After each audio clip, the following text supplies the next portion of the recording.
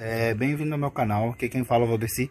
Então, pessoal, eu quero falar é sonhar com algo que te assusta enquanto dorme. Então, pessoal, é para muitas pessoas que não sabem, é, eu acredito que são ataques espirituais, tá? Que a gente tá sofrendo. Geralmente, quando a gente está doente, também a gente sofre ataques espirituais. Uma vez, pessoal, eu estava com Covid, Covid, eu tava tanta dor de cabeça e febre que eu tive um sonho e praticamente um pesadelo. Eu sonhava que o meu espírito saía do meu corpo e tentava caminhar lentamente, entendeu?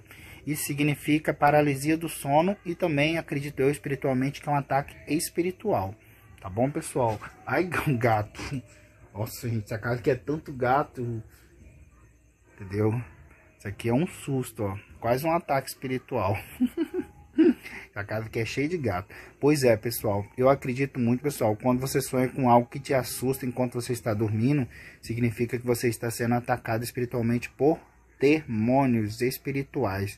Tá bom? A gente tem que orar, tem que repreender a Deus, porque geralmente são ações dos inimigos, pessoal, trabalhando contra a nossa vida, trazendo coisas ruins como doença, bloqueio, entendeu? Fazendo a sua vida ter retrocesso, entendeu? Problemas e mais problemas, tá? Então, peça a Deus proteção contra esse tipo de sonhos que te assusta, tá bom? Porque são ataques espirituais, tá bom? Fique todos com Deus e até mais.